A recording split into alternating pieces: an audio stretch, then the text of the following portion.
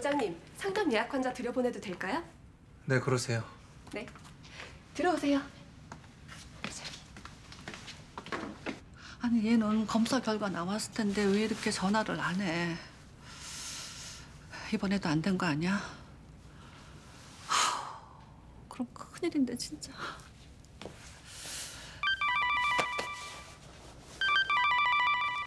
어, 여보.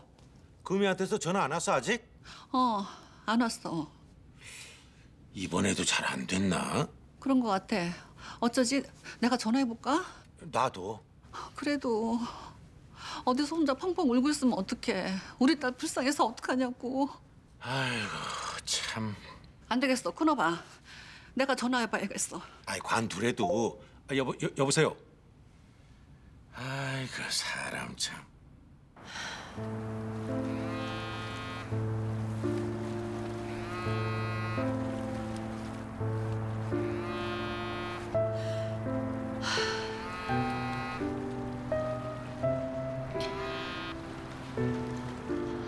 엄마. 어디야 금이야? 우수부지. 거긴 왜? 엄마. 미안해.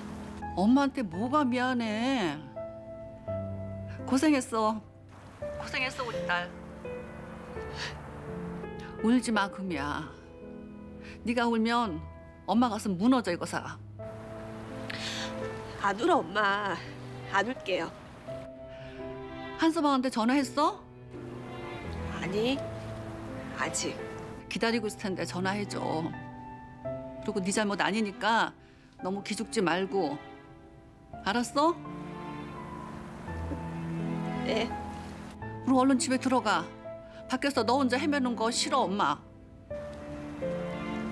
어.